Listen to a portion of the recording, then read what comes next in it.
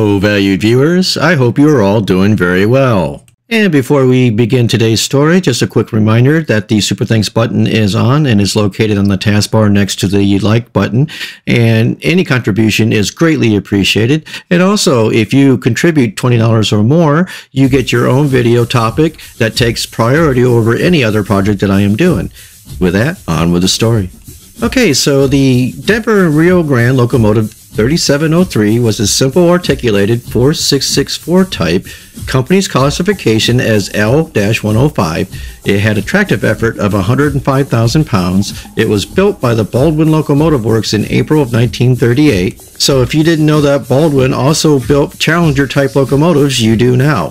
Because most normally associate this type of locomotive with Alco, so anyhow, all cylinders were 23 inches in diameter with a 32 inch stroke. The driving wheels are 70 inches in diameter of full tires.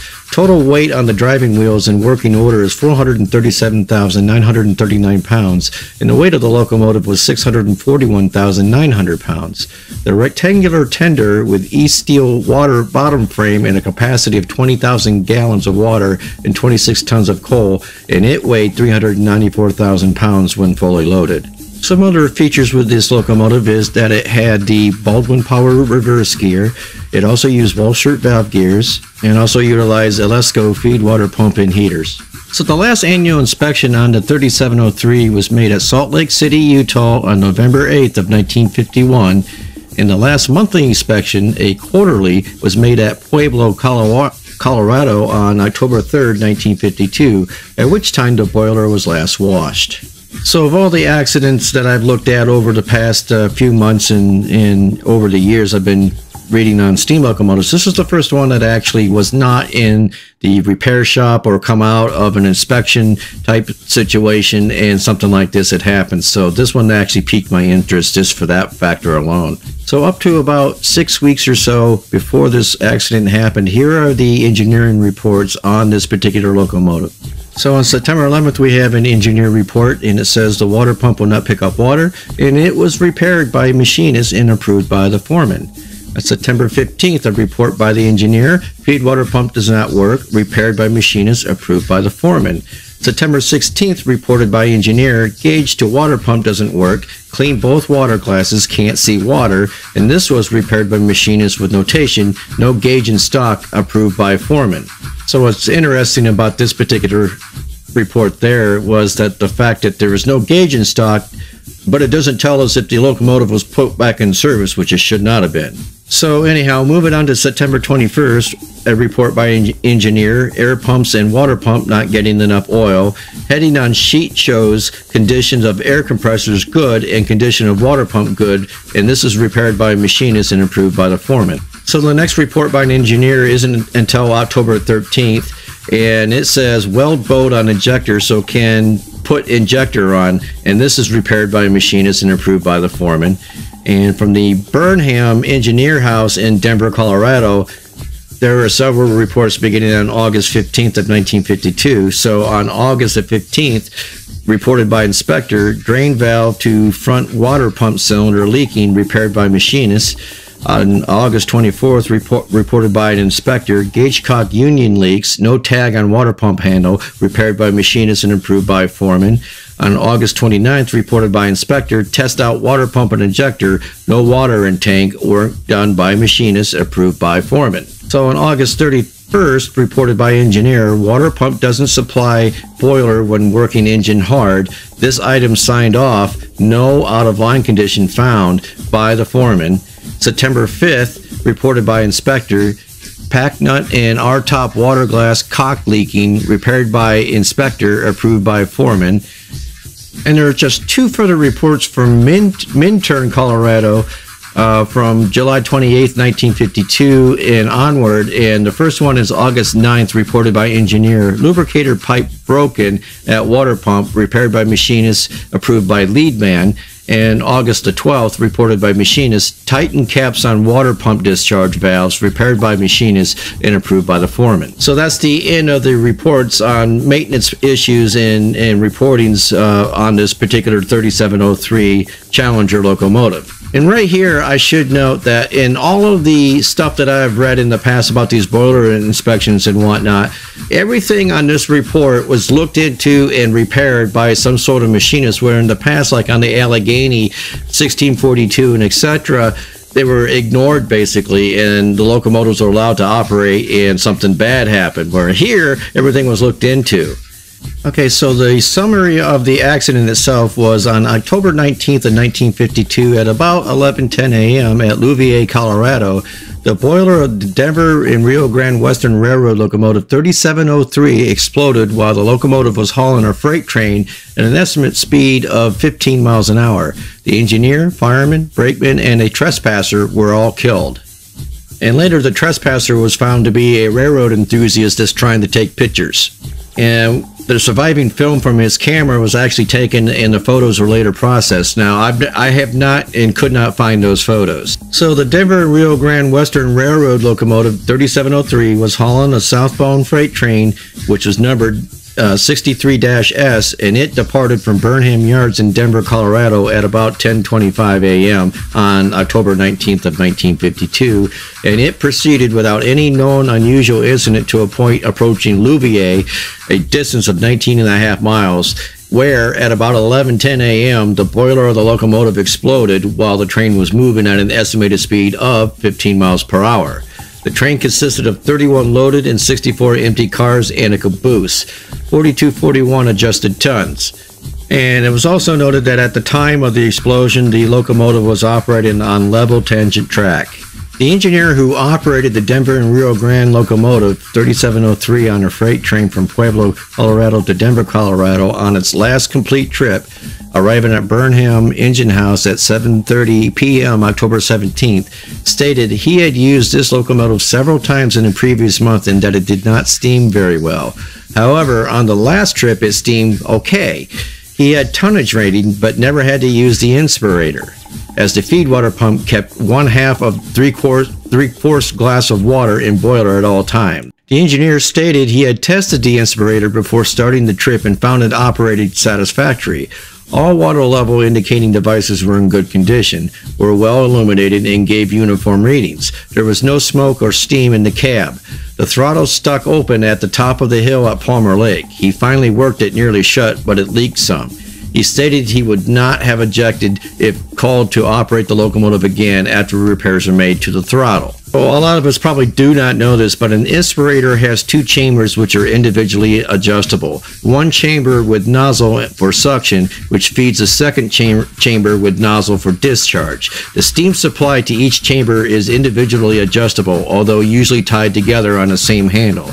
Whereas in an injector, it has just a single chamber with a combined suction and delivery nozzle that creates a vacuum and then discharges the jet of water at high velocity. So the fireman on the 3703 on October 17th stated that he was nervous on that date because when he last fired the 3703 in September, it did not steam very well.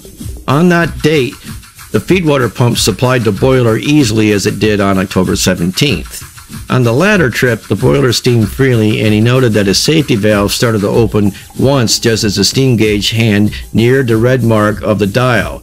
He opened the water pump valve wider to prevent this. The feed water pump gauge fluctuated normally with each stroke. He had to work the pump to capacity only once, even when making good time with a full tonnage. The water glasses were clean, well illuminated, and showed uniform readings. He tested all apparatuses before leaving Pueblo and found them functioning properly also. He used a blow-off cock several times. He never noticed any dis- discharge from the tangential dryer, and there were no leaks in the firebox, and the, and the boiler did not foam. Three engine house foremen, the fire builder, a machinist, and a hostler uh, and a hostler helper testified with respect to work performed on the locomotive 3703. It stated that the locomotive and devices functioned normally at the time of departure. The conductor and rear, rear brakeman stated that members of the engine crew appeared normal and in good spirits prior to the accident. So basically, there's no clue that this locomotive was going to do what it was about to do, unlike the previous incidences that I did uh, videos on. So, as noted earlier, the locomotive is just simply traveling along. No incidents is going on, and it's going about 15 miles an hour. And at approximately 11:10 a.m., the boiler explodes, And when it did, the force of the explosion tore the boiler from the running gear and hurled it and the attached cab forward and slightly to the right. The boiler half turned in the air and alighted on its top nearly parallel with the track and just outside the right rail and plowed forward 35 feet, splintering or breaking off at the ends of 10 ties. The boiler came to a rest approximately 260 feet from the point of explosion, buried 3 to 4 feet in cinders and dirt. It was headed re- in reverse direction to the train movement with a firebox some 9 feet in the smoke box some 14 feet from the west rail and leaning 35 degrees from the track axis. Parts of the locomotive itself were scattered in various directions. Pieces of grates were blown over 75 feet from the point of explosion. 200 pound sections of center and side bars over 100 feet. Ash pan supports as far as 350 feet. Hot pieces of arch brick were thrown as far as 450 feet to the sides and rear and started fires in adjoining stubble fields which burned over several acres. The front and door, both halves of the fire door, were blown off. Air and water pipes, pieces of jacket, and ash pan sandboxes, part of headlight of the headlight case, pieces of reverse gear and arch support, and other wreckage were scattered from from the scene of the explosion to the resting place of the boiler. There were several telephone poles blown over and wires, of course, broken. The cab itself was crushed against a boiler backhead. One air pump and the feed water heater bundle were torn from the front end ring, and safety valves, saturated steam turret, and overhead boiler checks were torn from the boiler itself. The force of the explosion also broke the heavy hinge casting forming the articulated connection between the front and rear engines of the locomotive and broke both rear sections of mainframes over the trailing axle. The front engine and engine truck became separated from the rear engine and continued forward for nearly 1,800 feet on a .79 grade before coming to a stop.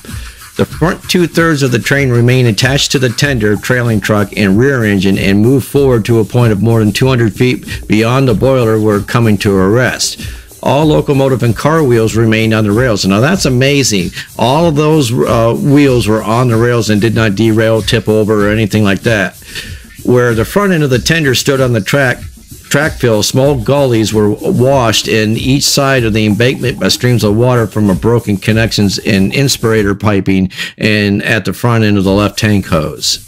So, folks, I'm reading the ICC report uh, verbatim. This is not my English or writing, okay? So bear with me. And here is one very interesting tidbit from this report, and it states that the boiler was not equipped with a low water alarm or fusible plugs. Now, how do you get away with operating in under those conditions? I do not know, especially without a low water alarm, because we've all learned in the past that fusible plugs were not a necessary requirement.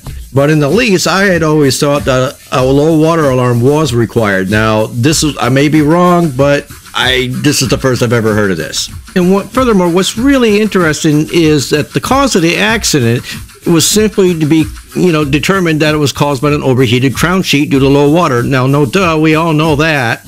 But nowhere in this report does it state what the actual cause of that was. You know, why was the crown sheet exposed? And I didn't find a you know a blame for this, like an, an injector malfunctioning or anything like that. So I don't think they actually found the real cause of these of this accident, and the locomotive just did what it did, which the boiler exploded. So the end of this story is rather anticlimactic, and you know I have to apologize for that. But this is just one of those freak accidents, if you ask me, that maybe the you know the injectors or the inspirators or what have you just got clogged by some foul water all of a sudden, and it exposed the the uh, crown sheet. That's the only guess I can come up with. If you all have a better theory on this, let me know in the comments below because we I think we would all like to hear it. But that's my guess is the locomotive got some foul water from the tender that that blocked the injectors or what have you, and then the locomotive uh, boiler exploded. Because this stuff happens really quickly. It's not like you've got warning or anything like that. And with that, I'll wrap up the video, and I shall thank you for watching the video. Uh, if you enjoyed today's content, please leave a like. And also, if you've not subscribed, uh, please hit the subscribe button, as both features help the channel grow immensely. And once again, don't forget about the super thanks. Any contribution toward the channel's effort is greatly appreciated. And if you don't want to do it that way, you can visit our print shop at Nickel Plate Limited on Etsy.com and support the channel in that way. And we thank you very much.